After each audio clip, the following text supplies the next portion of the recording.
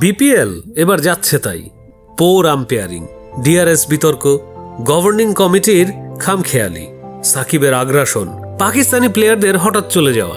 পাড়ার খেলা হচ্ছে নাকি বিপিএল এমন হাজার বাজে মন্তব্যকে পুঁজি করে ধুকতে থাকা বিপিএল অবশেষে পৌঁছে গেল ফাইনালে। আমরা যদিও বলতে বাধ্য, শেষের দিকে এসে বিপিএল জমে উঠেছিল। চার ছক্কায় মিরপুর কেঁপে উঠেছিল। বিদেশি প্লেয়ারদের আনাগোনা এনে দিয়েছিল এক নতুন রং।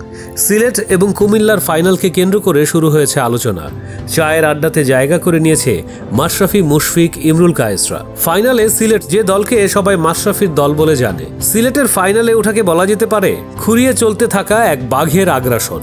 অনেকটা সময় মাঠের বাইরে থাকার পরেও মাশরাফি যখন সিলেটে খেলা শুরু করলেন, এক ফেসবুক পেজ থেকে বলল, সিলেট নাকি রিহ্যাব সেন্টার? যাকে খুদ সৌরভ গাঙ্গুলি ম্যাজিকম্যান বলেছিলেন, সেই মাশরাফি শুধু খেলতেই জানেন না, তিনি জানেন কীভাবে দলকে খেলাতে হয়। এজন্যই হয়তো তৌহিদ হৃদয় ও জাকিরের মতো ইয়াং প্লেয়াররা নিজেদেরকে উজাড় করে দিলেন। মাশরাফির ছায়া পেয়ে হৃদয় লিখলেন মহাকাব্য।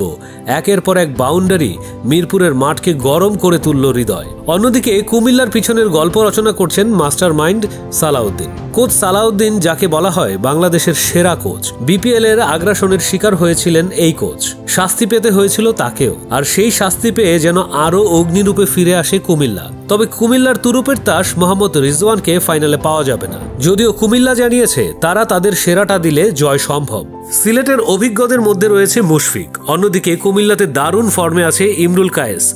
ফাইনালে তাদের দুজনের উপর হার জিত অনেকটাই ডিপেন্ড করবে। এদিকে নাজমুল শান্তর ব্যাটিংয়ের সাথে একটা ভালো যুদ্ধ চলবে কাটার মাস্টার মুস্তাফিজের। ভুলে গেলে চলবে না, কুমিল্লাতে যোগ দিয়েছে আনরে রাসেল এবং মঈন আলী। আর এই দুজন হয়ে যেতে পারেন সিলেটের এক দুঃস্বপ্নের রাত। সবকিছু মিলিয়ে বলা যায় সিলেট এবং কুমিল্লা দুই দলই দু হাজার বিপিএল এর কাপের দাবিদার। এখন দেখার বিষয়, কোন দল মাঠে তাদের সেরাটা দিয়ে এবারের দু হাজার তেইশ বিপিএলকে নিজেদের করে নেয়।